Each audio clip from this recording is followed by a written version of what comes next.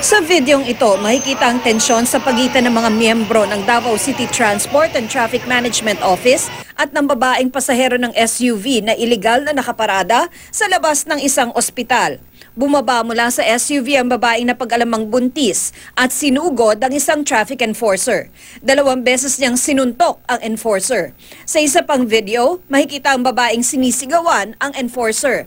Base sa blotter ng Santa Ana Police Station, pinagsabihan daw ng mga enforcer na sina Dexter Roa at Joel Jaji Jr. ang driver ng SUV dahil nakaparada ito sa lugar na may traffic sign namang no parking and waiting. Nang hindi sumunod sa unang pagsita, binalikan siya ng mga enforcer para tiketan. Pero tumanggi raw siyang ibigay ang kanyang lisensya.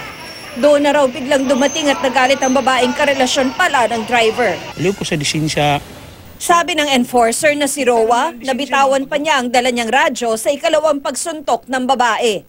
Pagbalik daw ng babae sa SUV, hindi na sila nagbukas ng pinto kahit pa may pulis nang nakipag-usap. Desidido ang mga enforcer na magsampa ng reklamong direct assault laban sa babae at pagmultahin ng driver ng SUV dahil sa illegal parking.